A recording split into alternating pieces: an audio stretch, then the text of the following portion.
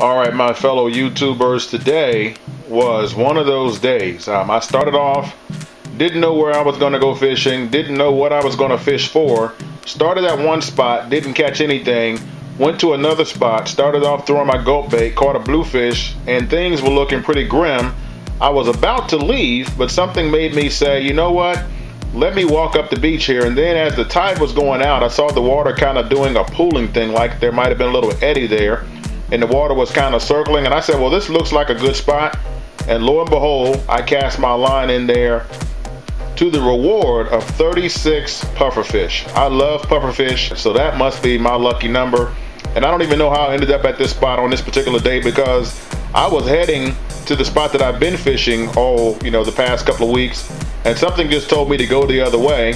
And um, I think God's favor was with me. So I'm going to count that a blessing and uh, check out some of this action.